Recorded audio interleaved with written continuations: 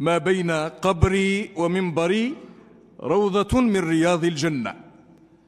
وقد وقع هذا عندنا زمانا يوم أن كان الفقه فقها يوم أن حلف الرجل بالطلاق الثلاث والتحريم لزوجته ألا يلاقيها إلا في الجنة.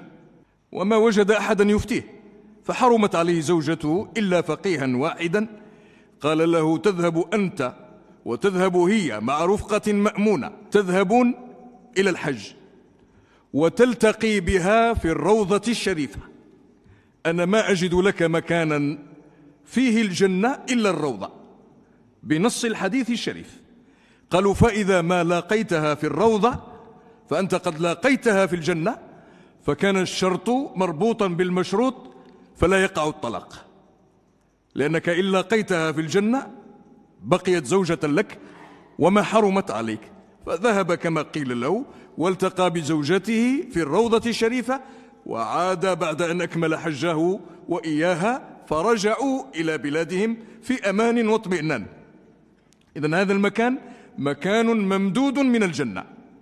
الله تعالى جعل فيه النفحات وجعل فيه القبول.